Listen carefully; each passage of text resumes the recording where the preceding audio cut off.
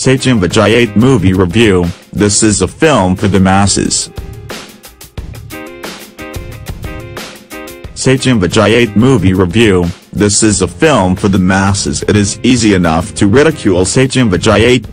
It is easy enough to ridicule Satyameva Jayate. God knows, it renders itself vulnerable to severe slamming.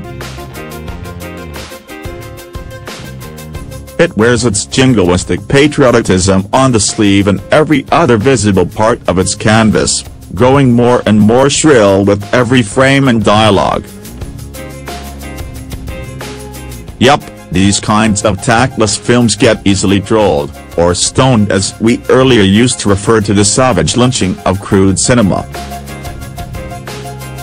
Satyameva Jayate SJ, is not designed for those who dug their grey cells into Newton and came out feeling like alumni on a space odyssey. This is a film for the masses, the commoners who every day have to face discrimination and corruption on the streets where a lot of people don't just work but also live sleep and defecate. Road rage for them is not about a dent in their gleaming cars. For all its sense of loudish characterization and oral extravagance the film throws a very opportune question at us, why do we tolerate corruption in our system on such a hideously aggravated scale? Is corruption part of our DNA? The corruption in the police force, which this film takes on headlong, is especially worrisome. If a society doesn't have law enforcers who do their jobs honestly, the lawbreaks are bound to be on a rampage. Early on in this lengthy anti-corruption diatribe swathed in a flag-fluttering fury, a street hawker's wife comes under a rich man's wheel. He moans, wails and pleads for justice while the cop on duty cackles and taunts, you are trash and trash needs to be treated like this. Too grass for your tastes? Well, let me tell you I've seen a cop react exactly this way to a destitute man's lamentation on the street. Truth can often be much cruder than fiction. The film takes that path without apology, as a disgruntled raging vigilante Veer John Abraham, clenched and impulsive, takes on himself the responsibility of eliminating all corrupt cops from the Maharashtra police.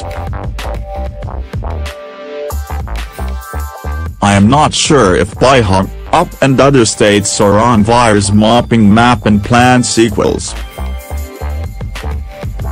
but for now he goes about the business of finishing off decadent cops with the zealand guile of a clumsy assassin who has taken a crashy course in mass killing. The ritualistic slayings are gruesome and in many ways, apartment. That's the disturbing part of a film whose steep volume of violence sought to offend. The killings pile on and so does the outrageous level of grisly blood flow but you really can't blame the film for its excessive brutality when it is all around us. But yes, the bad acting by many of the actors, some reputed names, could have been avoided. My favorite high drama moment in the film is when a young Muslim boy is being tortured by a sadistic cop to confess to a crime he hasn't committed. The sequence is designed as a pseudo-religious symphony rendered shrill with religious zeal. Later there is a sequence in a Moharram procession where John, fashionably bloodied, finishes off a lecherous cop. Sequences of cop killing are designed in bright voluptuous crimson colors. You can't miss the film's zeal or the persuasive powers of the two principal performances.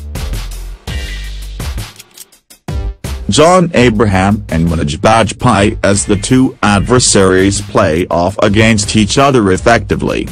They know this is the time to drop all subtleties and they get to that task with full-on enthusiasm.